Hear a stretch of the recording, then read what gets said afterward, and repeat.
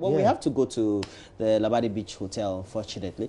But uh, we, all, we all know that uh, in partnership with Stanbic Bank and Joy Business, um, we're presenting to you this morning the graphic business and Stanbic business breakfast meeting is on the theme unlocking economic growth through manufacturing quality cause and competitiveness. And uh, Mama Yusuf Bwaje uh, is, before the start of the whole event, going to speak to some number of personalities. Good morning to you, Mama V.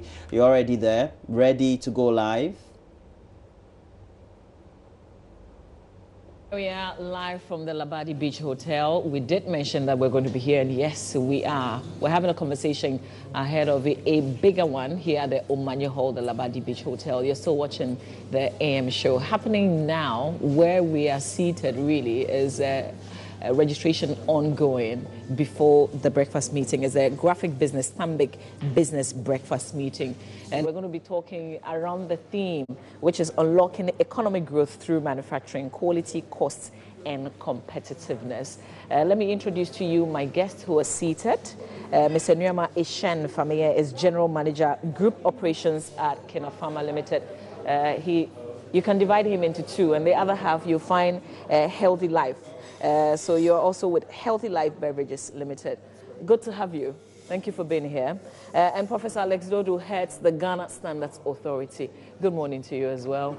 Uh, I probably should begin with you. What does a gathering like this, this one that the graphic business and uh, business is putting together, what does this mean? Well, for me, I, when I got an invite, I like two words the quality and the competitiveness. Um, it's, it's good that we are giving prominence to the role that manufacturing must play in moving the economy forward.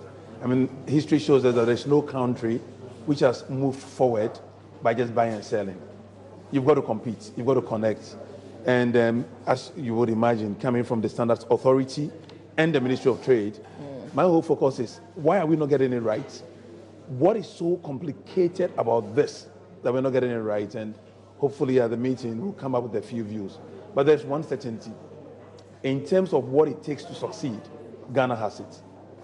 We have the men and women, we have the companies, we have the entrepreneurs, but somehow in that mix, there is, there is a missing piece. It's more like you have all the star players and your team never even qualifies for the World Cup.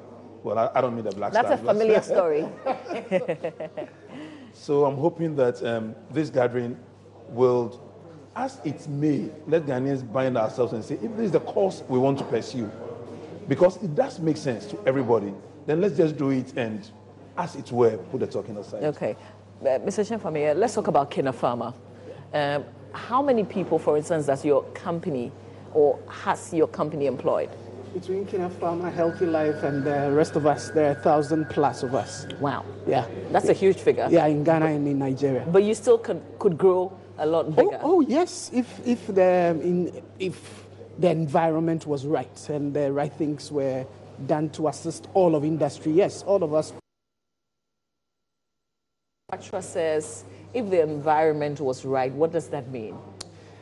It doesn't mean too many things. Um, I have said that if you specialize in trading in finished goods that you don't make, you're only developing somebody else's country. Now, we have so many people who get out of school and can't find a job to do, also because of a similar problem. Because we have not gotten to the point where we make enough things by ourselves.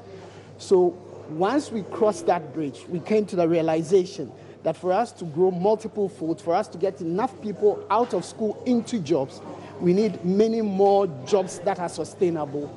We will have to help industry to grow. Um, helping industry to grow is what your point is, not so?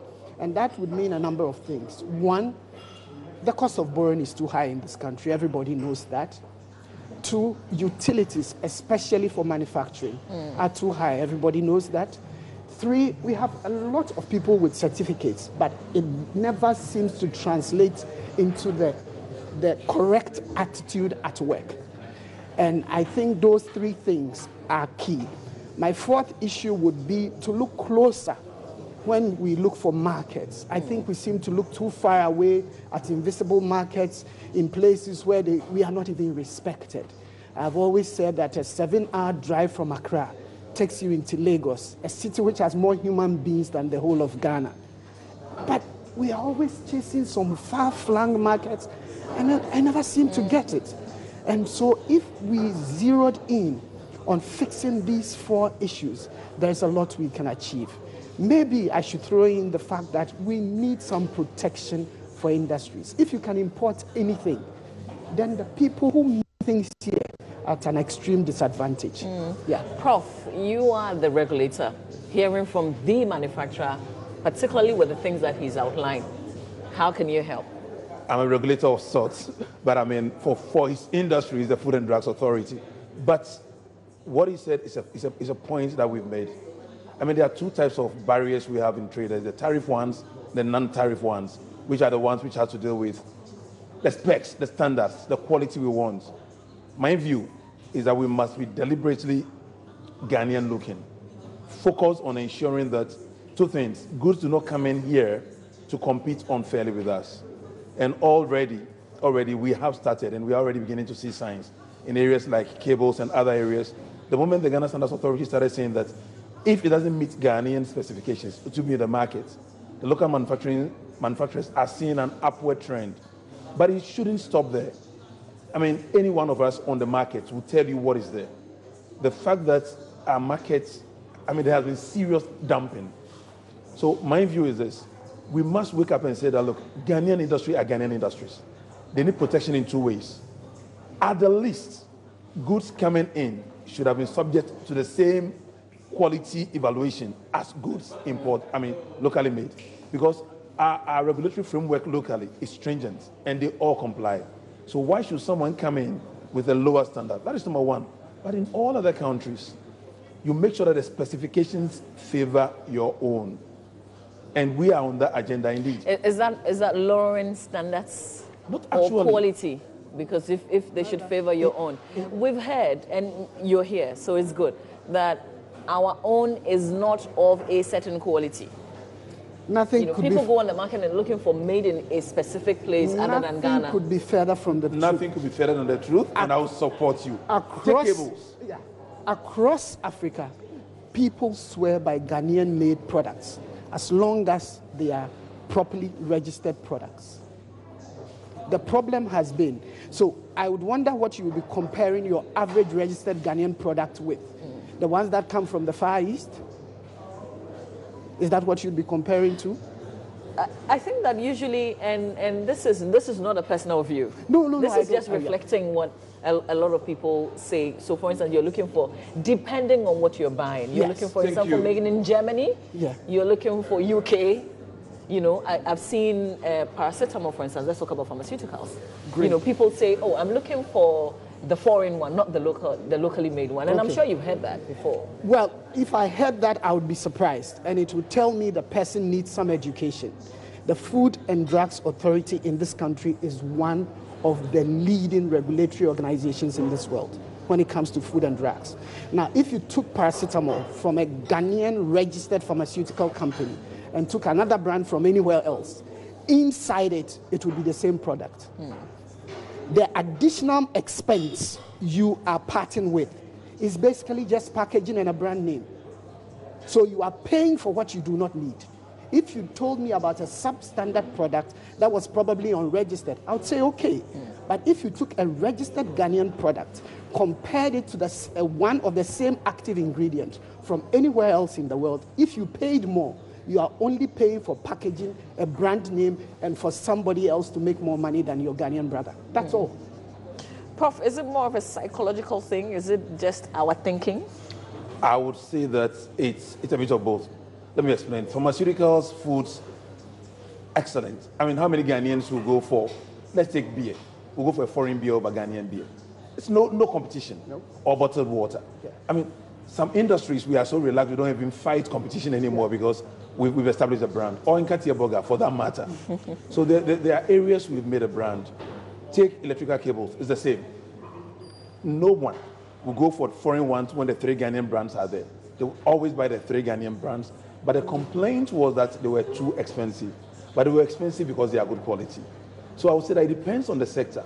However, the narrative has been shifting for a while. Ghanaians identify good quality made in Ghana goods and go for it. And in fact, that is why the Standards Authority with the Ministry of Trade, we started issuing this Buy Made in Ghana, the, the, the logo that you can put on your products. There are areas which have not been regulated and for which the standards, you know, but by and large, anything we have certified, I mean, take cement. How many people fight against, ah, maybe, I don't want to mention any brand. Oh, yeah, but I get your point. But all the cement you buy. So Ghanaians trust made in Ghana. They rely on our authorities. But two things have happened. One is that we have allowed dumping from other countries onto our market. And two, there have been areas that we have not regulated. And those areas have churned out products. I mean, you can take furniture, for instance, the sizes will be different and we all laugh at it. But since we started, now we are going to deal with furniture. We're going to deal with anything which falls within our remit. We are beginning to see an upturn. Mm. And indeed, we are hoping that really now it's going to be about we exporting rather than we importing. Mm. But my sister, to add to that, seriously, why should it be possible to buy imported paracetamol? What is paracetamol? And why should it be possible for you to buy imported paracetamol? Mm. If you drove seven hours from here or flew 30 minutes from Accra and went into Lagos, if you saw foreign paracetamol, it is made by a Nigerian company and a license from a British company or a German company. So can I ask you the same question? Why do we have it here then? We would have to ask my brother who is a quasi regulator, not me. no, I mean, Ghana is a stickler for holding on to the, to the books. We signed up to World Trade, uh, World Trade Organization rules.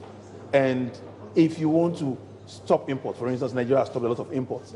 There are approaches. And really, it's, it's something that we have to decide as a country because you have to notify the World Trade Organization and give the reasons. Is it hard to do? It's not it's impossible not. to do. I mean, it's hard, not hard, hard is not do. a word I like to it use. Takes, mm. For me, it takes commitment and a binding together. Yeah. I say binding together because, you know, we are all aware of one thing. Buying made in Ghana, using made in Ghana, indeed eating made in Ghana makes sense. Take the area of rice. Look, any imported rice you buy in Ghana would have in Ghana would have been stored at least, at least two to ten years before being released for sale here. Because you know countries buy it, stock it, treat it before they bring it to you. Mm. So eating made in Ghana is more healthy. It's fresher, eating made, it's fresher, it's healthier, yeah. it's better. I believe it's about time that uh, buy made in Ghana, promote made in Ghana, eat made in Ghana moves from slogan into actions. As a regulator, what I've told the industry from the standards authorities point is that we would help Ghanaian companies meet the standard. You know, there were two words used here quality and competitiveness. Mm. In the global market, you compete based on one word, quality, which are assessed based on the specifications or the standards. So if you want a Ghanaian company to be competitive in the world, you've got to make sure that the features of Ghanaian products, when it's sent anywhere and assessed independently, will pass. Because trust me, you send your product to Germany or any other country, they don't really care where it comes from. They care what it contains because they are protecting their population mm. and their business. And, and, and I believe that with a little bit of push, and here I'm going to speak more in support of the industry as well. There are so many countries where industry is borrowing at near 0% to produce, to export in their national interest. China does it, others do it. So we need to get to a stage where we will say in Ghana that you know what, supporting industry to produce at dead cheap interest rates it's about creating jobs. It's about raising money. It's about putting money in the pockets of Ghanaian business, businessmen and women so that they can, they can expand our economy. Mr. Famia, let's talk about branding. Yeah. Uh, because we're also looking at competitiveness. Yes. Uh, and sometimes you look at. But competitiveness is a lot more than branding, is it? Yes, okay. absolutely. If, if, if you. But let's use a let's use the paracetamol example. Okay. If you look at the foreign packaged one, yes. you, you, you easily can tell. You could in, in the past, the... but that has moved on. These days, there are lots have of. Absolutely moved oh, on? yes. Oh, yes. Oh, yes. Those who have not moved on are in the minority. These days, if you took a foreign branded paracetamol, took a local branded paracetamol of uh, a leading Ghanaian company, the, the, the packaging difference would be very little, even if there was any. Okay. Yeah. But th- does it apply to all the other areas as well? Oh, I am sure. Because if you talk furniture, you're talking about finishing. Uh, uh, yeah. Uh, you know. Shall we say that in the pharmaceuticals and food, we, have got it right, but in other areas, yeah. I mean, I, will, I, I, could give you furniture. Our, our traders, even fashion, the use of measurements in business is so weak that you buy four chairs And if you're not lucky, they'll have four different heights and four different, you know. So those areas. But, oh, but when you say that, you are talking about the average artisan by the road. When we talk about a proper company, yeah. even yeah. there, we are beginning to know, seem to get what we're doing. The problem has been the attitude of your average staff working in these companies. We are, we are still too laissez faire. Yes, we will make sure we get a degree, but how, what does that translate into? Mm. Our attitude has a, had a lot more to do with our failings than anything else, not our education. So, who do you look out to employ in your company, for instance? Of course, as, as specific job descriptions require certain um, qualifications. As if you need a pharmacist to do a certain job, you need a pharmacist to mm. do it. Mm. If you need a biochemist or a food scientist, is it the paper qualification? That no, that's a, that is a, that is a required. But beyond that, for, for this country to prosper, for industries to do well, for manufacturing firms to move beyond where they are now, you need a new kind of young person not just the certificate. We are quick to remind each other that it's five o'clock, it's not eight o'clock, it's break time. Even people who are not going to church want to remind you that it's a weekend. I don't know what a weekend does for a person who is not going to church, but that's our attitude, and that hasn't been fixed. Puff. Well, what I mean, it, I, would, take? I will support you on that, and what I will add, whether you're a regulator or you're a young person, is that it's about time we, we took Ghana seriously. It's about time we took Ghana seriously because the notion that, oh, this is made in Ghana, let's treat it anyhow, for me doesn't sit well. We have Ghanaians, whether in Ghana or overseas, working for foreign companies where the attitude is completely different. They show up on time, they act on time. But you come to made in Ghana and people feel like, let's leave it there. What I've told my staff is that we can compete with the world. And in competing with the world, we just have to follow the same rules as the world. It's about zero tolerance for laissez-faire. It's about not taking things and assuming that, oh, it doesn't matter. For me, I mean, it must align. The paper, I mean, the sizes must be correct, the weight must be correct, everything must be there. And for the young people out there watching, really, we are going to build this Ghana. And to build this Ghana, this attitude of, oh, this, get away with it. And for me, it cuts across society from the way we handle traffic. And I'm sorry, I always bring it up. It's my pet, pet, pet that when motorbikes go against traffic and we accept it, who does that? Hmm. You know, and, and, and, and, and that happens and you expect to go to hospital and be treated smoothly. You know, when you mess up any sector of the country, you mess up the entire country. So our take, definitely from the Standards Authority, is that it's about time we, being employed by the taxpayer, took Ghanaians seriously. And that is insisting that the right things are done. People will not be happy, but trust me, we are not here to make people happy. We are here to make you rich we are here to give you a future. We are here to make sure that your education or your health are the quality you need. This doesn't come by just talking and wishing. It comes by working. Let's continue because, you know, I, I think I overheard you say that, you know, the talk shop, we like to talk too much and we don't. We, we, are, we, we don't. have mastered the talking industry. Yeah. We, How do we change that? How do we change? Because the only I mean, some people also think that the only way we can change is when we begin to talk about it. We have to know where yes, we are, we are not what supposed we're lacking. to end with the talking. We seem to end, begin and end with the talking. There are too many. I mean, I wonder how many people leave a workshop and go to implement or even open the manual they took from the workshop. So that, that seems to be a, there, there, are too many of them. We've gone into a vicious cycle of just going from a workshop to a conference to a meeting to, to a round table and never being able to find the time to actually do what we talked about. Mm. That seems to be a problem. Mm. Let's just veer off a bit. Let's talk about the potential for growth in this industry. One of the things that we're looking at is job creation. Uh, how many more can you employ, for instance? Depends. Environment. All the factors that you, you gave earlier. Environment, support, and of course, the market should not be Ghana. First of all, we need to start from home. We need to start by protecting local industry, by making some things impossible to bring into this country. I still go to restaurants and see imported water, and I say, why? I still see juice made in some outlandish place where I doubt they have a regulator. Can we, I say why? Can we produce more uh, for all of us? Because one of the things we hear in some of the areas is that uh, we can't meet the demand.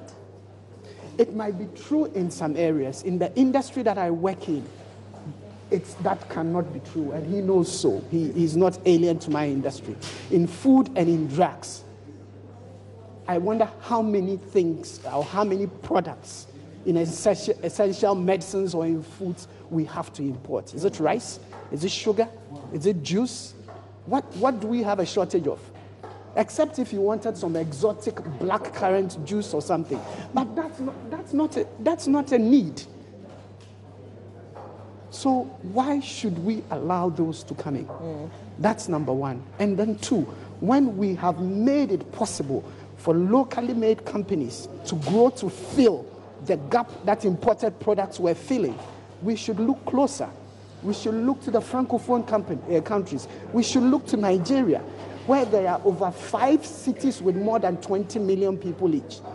They like what we like, they eat what we eat, they wear what we wear. What's our business going to a, a, a, a business, uh, what do we call them? Trade mission. Uh, trade mission in, I, I don't want to mention what's the use? Mm. Prof, we have to wrap up in about five minutes so that we can join in uh, the, you know, the bigger conversation. But he talks about this not being the market, we should look elsewhere. Yep. You can tell us how we can get there. You know, if you look at the role of standards in world trade, we always say you need to conform to the standards, you need to compete with others, you need to connect to the market. Mm. I mean, the main reason why we are here is that foreign trade, uh, we always say the language of trade is standards, it's quality. That's the only thing business understands. Do Ghanaian companies have it? We do have it. And our job now is to open doors. But then if they are producing at a cost which is so high, I mean, I had a chance to visit our only vehicle manufacturer. if You can call it assembler or whatever. And I thought, you know, it's about time we, we walk the talk. Indeed, I, I did commit that we will put out a tender for the procurement of made in Ghana vehicles. And if that is successful. But do they meet the quality? They do meet, they do meet acceptable quality to the Ghana Standards Authority. Mm. And we'll be not only buying it, but using it and branding it. You know, because it's about time we move from. I don't want to be saying that, oh, Kantanka is good, we've endorsed it, and I'll be driving a different one. I want to be seen in it because, I mean, I'm, you have to walk the talk. We have to, I mean, I was very happy to see the Minister of Finance driving one as well. And, and I'm saying that it's about time we begin to support our own. Mm. All countries that have made it, you started by saying that, how do we help you meet the standard? I always use the word meet the standard because the market is out there. And if I do you a favor here, your product will stop at the border because nobody's going to buy it at the other side. Yeah. But there are areas where we are, we are extremely competitive. Mm. No fish gets to the European Union unless we have looked at it. So fish exports is booming, and we want to attract more people into that space. Now, even the US is looking at the regulations we have for fish exports. Why? Because the requirements are stringent. We are audited by the European Union Agency for Quality at random and regularly. So they have the trust. And thankfully, our accreditation keeps being renewed without any problem so far. Mm. And we thank God for that. Can we do that in other industries? Absolutely, yes. What I think we need is that we have areas. I mean, let's take our cocoa industry from golden tree to niche cocoa. Look at the quality, look at the packaging. They can compete. How are we aligning with them to make sure they compete? And then also, how are we stopping the imports which are eating into our profits? I mean, we've seen what Blue Skies have done, exporting to the UK market and, and making a good business out of it. As you go around the country, for those of us who are lucky enough to go around, you do see, take SMEs. All it takes is to rebrand them and maybe you are right in certain areas, especially the very, very small micro enterprises. The packaging leaves a lot to be desired of. Mm. But the quality of the products is good. And this is where I have instructed my team that our job now is not to pass or fail them, is to see how do we help them meet the requirements so that they can compete on the market. Because most of these need a young university graduate to, I mean, to oversee them and to ensure that they tick the boxes and move forward. So I believe in Ghana, I believe we have what it takes. I believe we need to put the talking aside and say that, look, do we really want to do it? And if the answer is yes, let's just. Haven't we gone beyond? Do we even want to do it? We we really want to do it. Somebody, Ghana is the only country where we start a meeting with prayers and proceed to lie. No, no, seriously, you know, the, the, the disconnect between talking and delivery is frustrating. Hmm. I mean, I've been lucky enough to work in other countries where if we say this is what we are doing, tomorrow you don't need to call your worker and say that is what we said we are doing. In Ghana, it's more like what we said we'll do is introduction. Mm. You're, you have to call 10 times to do what we said we are doing. So at meetings, people are fighting to win an argument, not to get a job done. Mm. Maybe I've said it and I'll say it a thousand times. Sit a few of us, I call us the two known people, industry, academy, and say, this is the issue. We want rice to be sold. Let's take up the red tape. We'll fix it. We have the experts. But, and, and I've been praying to the good Lord that Ghanaians who talk where they talk, there's a gap between the talk and the meaning. You should find another place for them because you know what? it, is, it, is, it is so unfair to the average Ghanaian, especially the uneducated, that we come and do yabi, yabi, yabi, yabi, yabi. We have no meaning. And they go suffering. And we think it's right and it's fair. And we go to church and pray. Come on. Nobody does that. Uh, let's look at the, the speakers we have this morning. We've got the senior minister. Um, and I want to link this to the talking, talking, talking, talking. He's coming from uh, a place where action could be taken. What are we expecting from this? Let me just add that we have Dr. Otin Jesse because you mentioned cables, cables, cables. Yes. Yes. So I'm these are our main that. speakers. What, what, what, what, what should we expect? Um, I would hope that both people you mentioned have, over time, stated their case over and over and over again. Dr. Otinjesi comes from my AGI, and, and um, of course, I don't expect anything less than we've seen all along. We are hoping that we can finally bridge the gap between what we know what we say and what we have always said we will do and finally get around to doing. I mean, I expect, I mean, obviously, my boss is the senior minister. I do expect him to repeat a few of the things you've said. He's always having a story about how anytime he's traveled overseas, people want to buy made in Ghana medicines. His frustration, since I've heard from him a lot recently, is that we, the regulatory agencies, need to give an enabling environment. He's always complaining that we should not put barriers. Because, for instance, if he needs his product certified by us and it's going to take six months, he feels it's wrong. We have also committed that we will not be the barrier to industry. Indeed, we're asking companies that come to us, come get certification, and please talk to the boss in case there's a problem. Not because we need any favor, but we want to be sure that we are held accountable for the success of industry. Mm. Because it's also not acceptable to fight on high tariffs and other things. And then the least place you expect stress, regulators, and then they delay you or they frustrate you. That adds to cost because that creates uncertainty, that prevents you from predicting your market. And I have been on the other side, I've seen that frustration. So, upon assuming office, what I've said is that no, zero tolerance to that. Fortunately, with And the- so far, so far it's working because what, what have you what have you heard industry is saying that that, that you're lacking in t- that, uh, as a regulator? their biggest challenge has been time, the time it takes. takes too long. And then secondly, there has been there were issues between what FDA does, what GSA does. To the extent possible, I believe that both at the board level and at the CEO level, we have 99% aligned, and we are hoping that we have a date, middle of October, to announce to the country how these things will work. And that was being done with only one aim: how do we speed up the processes for industry? With, with us, if you can cut the time by at least 50%, it might sound small, but it's a 50 won't huge do. 50% 50 won't do. cutting the time. 50 would mean you are coming from six months to three months, which is still too long. Well, so what, what's the appropriate time? I mean, if, if, if a person gets an order to supply a product and he needs a health certificate, for example, he doesn't need a month to get a health certificate for a product that's already registered, that's been in production for many years. That should change. I, I like the way you are throwing my words back to me. He's saying three months is not enough. And for me, this is the way I believe Ghana should be moving. Why won't we sit down with the industry concerned and say that, look, what is acceptable? What does it take to do it? Mm. If it takes having a lot more young men and women working overnight, we'll do it. But is this workable? It is workable. I mean, the equipment are there. There are some tests which run overnight, but if the equipment are not going to be to be working and it's got to be double track for regulation, why not? Look, I believe that if you're a taxi driver and you want to make a lot of money, you can do day and night, and I'll do it.